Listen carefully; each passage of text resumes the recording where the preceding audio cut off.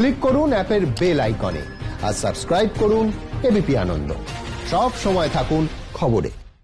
চোখ রাখব বিস্তারিত খবরে। রাজ্যে আরও এক করোনা আক্রান্তের হদিশ। ছেষট্টি বছরের ওই প্রৌঢ় নয়াবাদের বাসিন্দা। তিনি ভর্তি রয়েছেন পিয়ারলেস হাসপাতাল এবং পিয়ারলেস হাসপাতালের বাইরেই রয়েছেন আমাদের প্রতিনিধি সন্দীপ সরকার। আমরা সরাসরি চলে যাব। সন্দীপ, কেমন আছেন ওই ব্যক্তি? এবং জানতে চাইব চিকিৎসকরা কি বলছেন?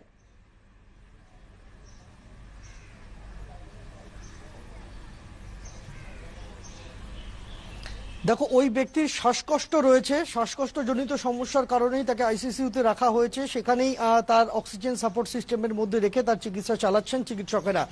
তার চিকিৎসার ক্ষেত্রে যেটা সিদ্ধান্ত হয়েছে, হাসপাতালের তরফে যে এইচআইভির যে ওষুধ যেটা পরীক্ষামূলকভাবে ব্যবহার করে দেশের দেশের কয়েকজন চিকিৎসক নভেল করোনা ভাইরাস আক্রান্ত রোগীকে সুস্থ করে তুলতে পেরেছিলেন বলে খবর এসেছিল।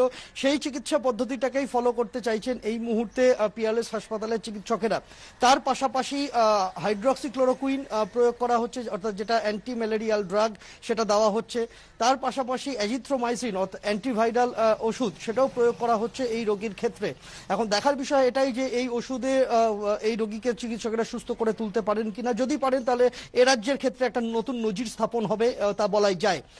এর পাশাপাশি চিকিৎসকেরা আরও যে বিষয়টা নিয়ে উদ্বিগ্ন, তা হলো যে এই ব্যক্তি, তিনি বিদেশে যাননি বা কোনো বা বা তিনি ভিন রাজ্যেও কোথাও যাননি। তিনি গিয়েছিলেন এ রাজ্যেই এগরাতে। এগরা থেকে এগরাতে তিনি একটি অনুষ্ঠানে, পারিবারিক অনুষ্ঠানে যোগ দিতে যান। সেই অনুষ্ঠানে যোগ দিতে তিনি এ মাসের চোদ্দ তারিখ গিয়েছিলেন। এখন সেখান থেকে পারিবারিক অনুষ্ঠানে এগরাতে যোগ দিতে গিয়ে তারপরে তার, তিনি সংক্রমিত কীভাবে হলেন, এটাই কিন্তু ভাবাচ্ছে এই মুহূর্তে স্বাস্থ্য আধিকারিকদের। চোদ্দ তারিখ তার প্রথম জ্বর আসে এবং জ্বর আসার পর দিনই পরীক্ষা করা হয়। পনেরো তারিখ তার টাইফয়েড পজিটিভ এসেছিল বলে পরিবার সূত্রে দাবি। টাইফয়েড পজিটিভ আসার পর তার সেখানেই তার চিকিৎসা চলছিল। তারপর শ্বাসকষ্ট বাড়তে থাকায় তেইশ তারিখ নিজের ব্যক্তিগত গাড়ি নিয়ে তিনি এগরা থেকে কলকাতায় ফেরেন এবং পরিবারের দাবি যে অন্য কোথাও না গিয়ে সরাসরি, যেহেতু বাড়ির কাছাকাছি হাসপাতাল পিয়ারলেস, তাই সেখানেই তাকে ভর্তি করা হয়। চিকিৎসকেরা প্রথম দিনই তাকে আইসোলেশন ওয়ার্ডে ভর্তি করেছিলেন। আইসোলেশন ওয়ার্ডেই তার চিকিৎসা চলছিল এবং তেইশ তারিখ ভর্তি হওয়ার পরের দিন, অর্থাৎ চব্বিশে মার্চ তার নমুনা পাঠানো হয় পরীক্ষার জন্য এসএসকেএম হাসপাতালে। প্রথম রিপোর্ট পজিটিভ আসে, নভেল করোনা ভাইরাসের প্রমাণ পাওয়া যায়। কনফার্মেটারি সেকেন্ড টেস্ট সেটাও পজিটিভ আসে গতকাল। তারপরেই তাকে স্থানান্তরিত করা হয় আইসিসিউতে, সেখানে অক্সিজেন সাপোর্ট সিস্টেমের মধ্যে তাকে রাখা হয়েছে।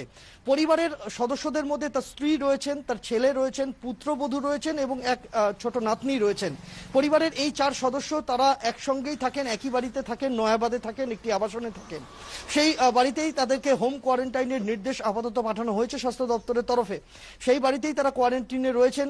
যদি কোনো রকম শারীরিক অসুস্থতার লক্ষণ ধরা পড়ে, তাহলে তাদেরকে হাসপাতালে ভর্তি করা হবে, এমনটাই স্বাস্থ্য দপ্তর থেকে পরিবারের সদস্যদের জানানো হয়েছে বলে পরিবার দাবি করছেন।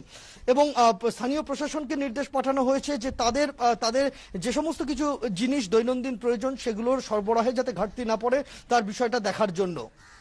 ধন্যবাদ সন্দীপ।